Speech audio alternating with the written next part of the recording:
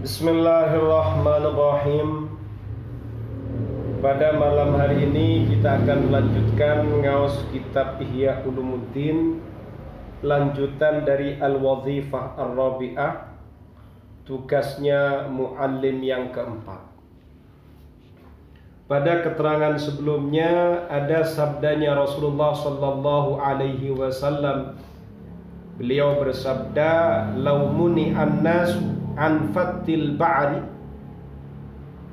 lafattuhu wa qalu ma nuhina anhu illa wa fihi syai'un." Andai saja manusia itu dicegah. Dicegah apa? untuk menghancurkan, meremukkan tai, tainya binatang. Manusia dicegah, ojo sampai, jangan sampai meremukkan tai atau kotorannya binatang. Lafatuhu, niscaya mereka malah akan meremukkan, akan menghancurkan kotorannya binatang. Dan mereka akan berdalih manuhina anhu illa wa fihi syai'un. Kita ini tidak dilarang dalam hal itu kecuali ada sesuatu di balik itu semua. Wa yunabbihu kalan ngilingaken. Wa yunabbihuka wa yunabbihu kalan ngilingaken. Ala hadza ing atase ikilah. Ala hadza ing atase ikilah. Ikilandi yaiku laumuni annasu an fatil ba'ri lafatuhu wa qalu ila akhirih Kisatu Adama opo kisah Nabi Adam? Wa Hawa lan sayyidatuna Hawa. Alaihima iku mugi-mugi tetap ing atase Nabi Adam lan Siti Hawa. Assalamu utawi keselamatan. Wa manuhiya lan ora den cegah sapa Adam wa Hawa. Anhu oh tutuk wa ma nuhiya anhu. Wa malan barang iku duduk manafio salah aku. Wamalan barang. Jadi kalau wamanu hialan ora den cegah iku manafi iki duduk manafi tapi ma mausul wamalan barang nuhia kang wes den cegah sopo Adam wa Hawa anhu. Saking ma wamalan barang nuhia kang den cegah sopo Adam wa Hawa anhu saking ma. Fama zakarat Fama zukirtu. Ah, fama zukirtu salah. Fama zukirat oleh Fama zakartu oleh. Fama zukirat Moko ora den tutur Al kisotu opo kisah? Ma'aka sertane siro Litakuna drapun yento ono opo al kisoh Samaron ikut dadi pertunjukan. Bal balik litatanabbaha. Drapun yento sadar yento eling sapa sira? Biha sebab kisah ala sabilil ibrati ing atase dalam ngalaf pekiling ngalaf pelajaran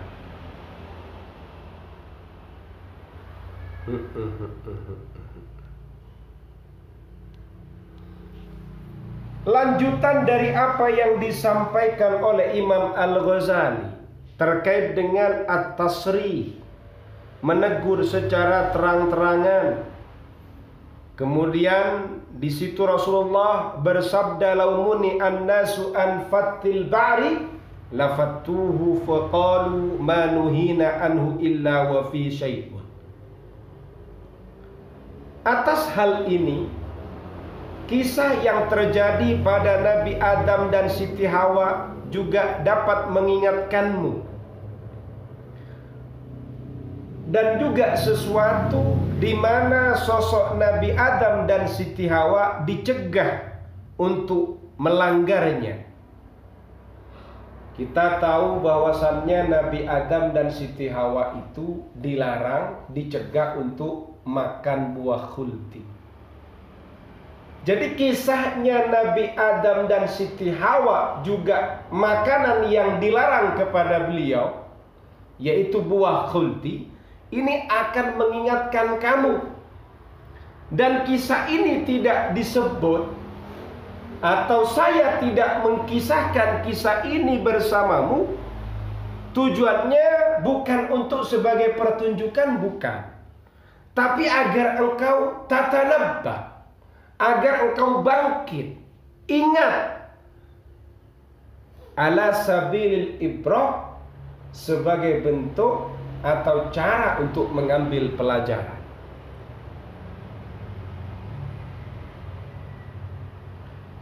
Wali anna ta'ridah ini alasan dari sebelumnya lek negor murid ya toh.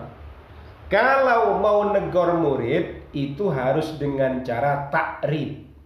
Takrid itu sindiran. Lek tasrik itu terang-terangan. Wali anna ta'ridolan krono saktuhune at-ta'rid nyindir. Aidon halemane yumilu iku nyondongake opo at-ta'rid? An-nufusa ing piro-piro awa al-fadilata kang utomo wal adhanalan piro-piro pikiran adzakiyah kang cerdas. Ilas timbati ma'anihi maring menggali piro-piro maknane ta'rid fayufidu nulimai dai opo at-ta'rid farhat tafattuni ing bungai memahami limaknahu maring maknane ta'rid rohbatan krono demen fil ilmi ing dalam weruh bihi sebab takrib lama drapun yen to weruh.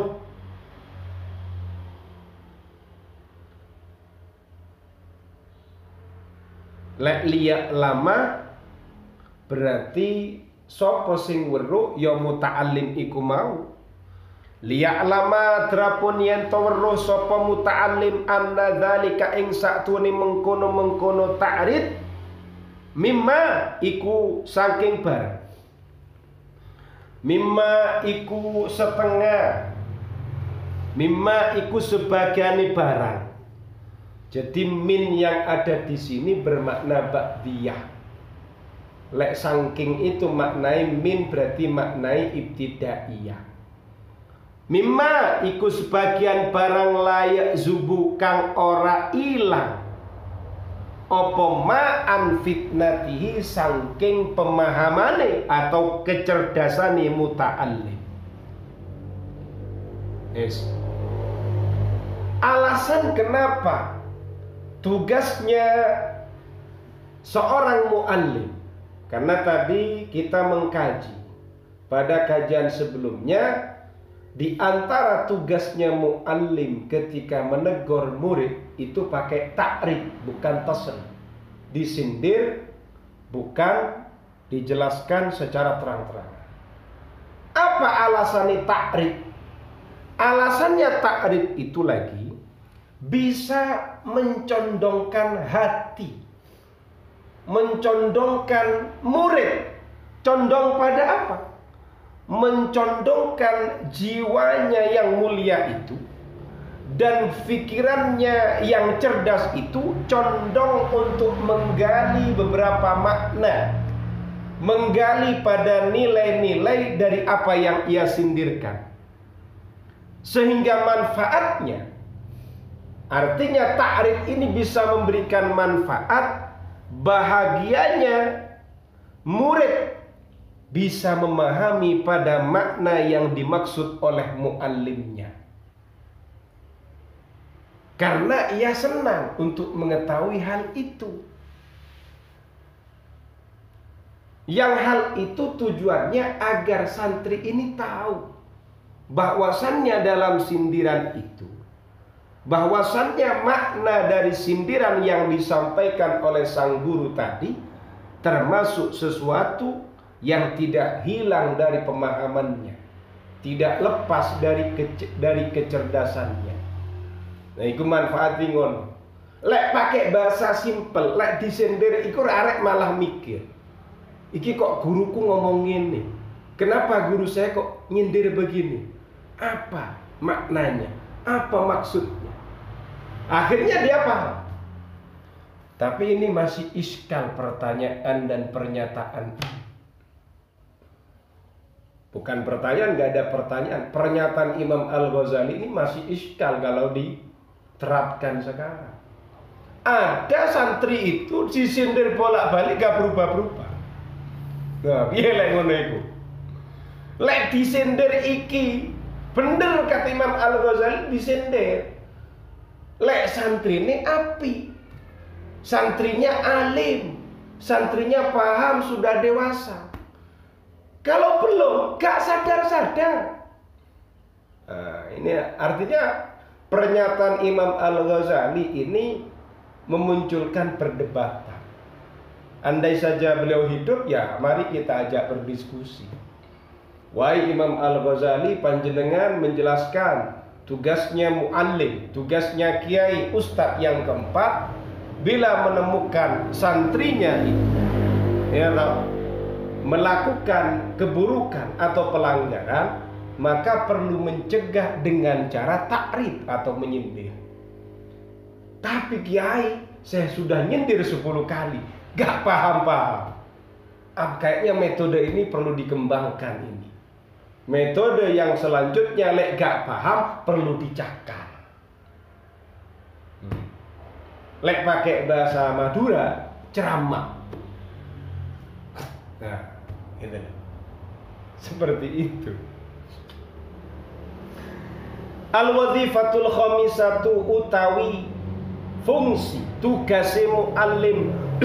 Al khamisatu kang kaping 5 annal mutakaffila iku saktuhune wong kang nanggung wong kang mekul. Bibadil ulumi kelawan sebagian piro-piro ilmu. Yang bagi iku sayukjo sopo al mutakaffil bi ba'dil ulum alla yuqabbiha. Yang bagi iku sayukjo. Sopo al mutakaffil bi ba'dil ulum alla yuqabbiha ing yento orang akan sopo al mutakaffil fi nafsil muta'allimi ing dalam awake santri. Awake muta'allim. Al uluma ing piro-piro ilmu allati iyo ilmu waraahu kang tetep ing dalam burine mutakaffil kamu alimil lugati koyok contoh muallime bahasa guru bahasa il adatu krono utawi kebiasaane muallimul lughah takbihu ilmil fikhi iku ngelekaken ilmu fikih. Mas, tugas yang kelima seorang muallim itu bahwasannya orang yang memikul sebagian ilmu. Orang ini nggak punya banyak ilmu tapi kalau ilmu arut pinter. Ilmu bahasa pinter tapi tidak semua ilmu. Ini namanya mutakafil sebagian ilmu. Maka seharusnya ia itu seyogianya orang itu tidak boleh menjelek-jelekkan mata pelajaran lain. Tidak boleh menjelek-jelekkan ilmu-ilmu yang lain yang di luar kekuasaannya. Ia jelek-jelekkan pada siapa? Di depan muridnya. Ilmu yang seperti itu gak cocok, Li. Yang paling penting ya belajar ilmu nahu ini. Ini apa? Wanahu awla awalan lama idil kalamu dunahu la yufham. Nahu ini adalah nahu yang pertama kali harus dipahami. Karena kalam Arabi ini tidak bisa dipahami dengan ilmu nahu.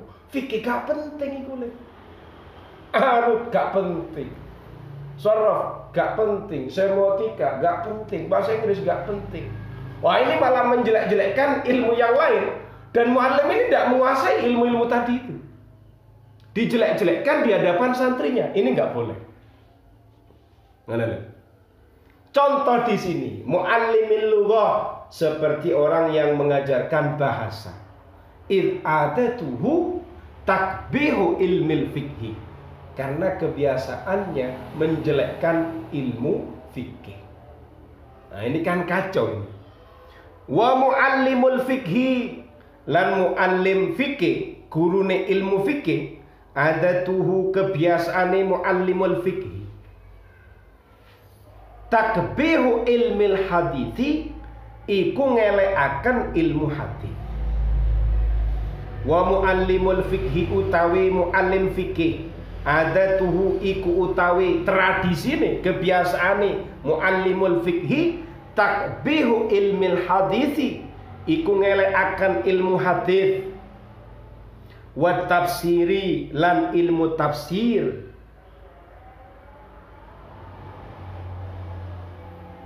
Wa anna dzalika lan saktuhuni mengkono-mengkono ilmu hadis wa tafsir naklun mahdun iku nakal murni. Wa samaun lan sama ngerungoaken murni. Wa huwa hale utawi dzalika sya'nul ajaizi iku urusane pira-pira wong wedok kang lemah wala nazara lan ora ono nalar lil akli maring akal maring pemahaman fihi ing dalam dalika. Yes tak terangkan ini terakhir karena sudah masuk waktu isya. Tidak ada lagi muallim fikih guru fikih. Ini biasanya menjelek-jelekkan muallim hadis muallim Quran dan hadis. Bahkan penjelekannya sangat parah jadi bagaimana muallim fikih ini menjelek-jelekkan ilmu hadis dan ilmu tafsir? Komentarnya kamu tahu? Kamu tahu kenapa nggak penting belajar ilmu tafsir? Ilmu tafsir maksudnya, ilmu tafsir dan ilmu hadis. Itu tidak penting katanya muallim fikih. Tidak penting belajar ilmu hadis dan ilmu tafsir itu. Itu kamu tahu, itu murni nakal mahdun. Dalil nakli semua dan dalil samai.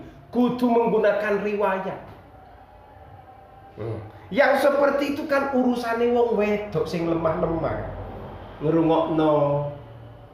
Nah gitu komentarnya ilmu fikih. Itu kan gak ada nalar itu. Cuma murni dengar katanya begini, katanya begini. Tidak ada ruang untuk berdiskusi, tidak ada ruang untuk menalar. Yang seperti ini kan urusannya wong wedok. Katanya mualim fikih. Nah, kacau ini. Mengkritik ilmu tafsir, mengkritik ilmu hadis wa muallimul kalami wallahu a'lam bisawab